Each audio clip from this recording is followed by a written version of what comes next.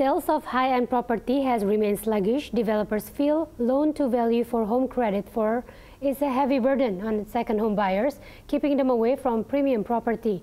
Regulators, though, believe LTV can reduce caution in the property market.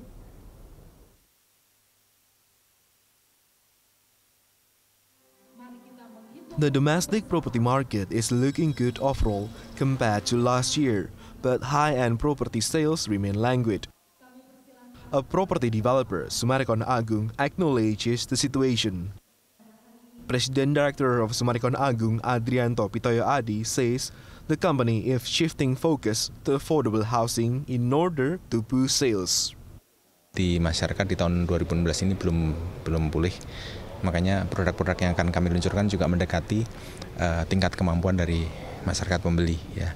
Dan kita kerasa sekali kita punya di di Kelapa Gading kan ada high end kita yang memang very slow ya.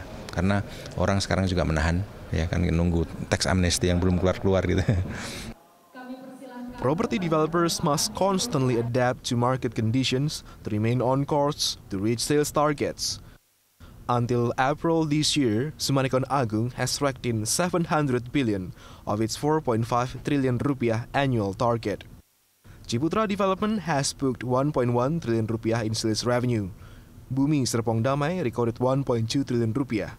PP Property posted 550 billion rupiah, while Sentul City booked 158 billion rupiah. Meanwhile, Lipo Cikarang and Lipo Karawaci have posted business property sales revenue of 546 billion and 985 billion rupiah, respectively.